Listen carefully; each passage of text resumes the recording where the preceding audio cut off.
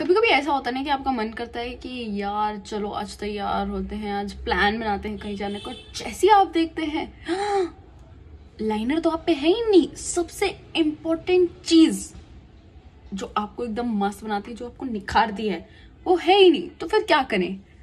तो आज आप एकदम सही वीडियो देख रहे हैं। Guys welcome me Palak makeupper very big huge makeupper आपको दिखाएगी कि आप काजल से कैसे लाइनें लगा सकते हैं।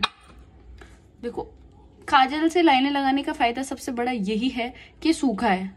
तो इसके अंदर आपको ऐसे नहीं कि थोड़ा इसको ऐसे सुखा के रखना पड़ेगा, आपको नहीं, ऐसा कुछ नहीं होगा इसके अंदर।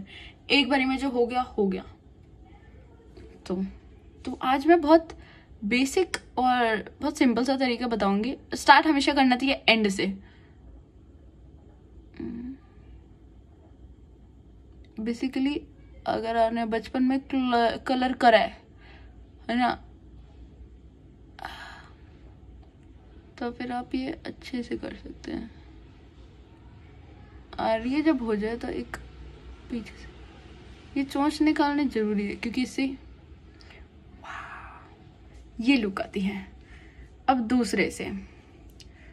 ये बहुत इंपॉर्टेंट होता है, क्योंकि जो आपका डोमिनेटिंग हैंड होता है उससे तो आप लगा लेते हो, जो आपका हिस्सा है ये वाला। पर दूसरे वाले में नहीं लगा पाते। पर कोई नहीं, इसको ऐसे समझो जैसे बाउंड्री है मैं तो आँखें बंद नहीं हो रही। हाँ।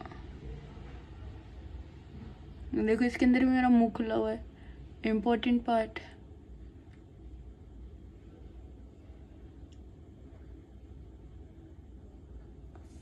boom वाह जैसे आप देख सकते हैं शेप उधर की नहीं दिखाऊँगी, उधर की बिगड़ी है, पर आप इधर की देख सकते हैं, कितनी प्यारी लग रही है।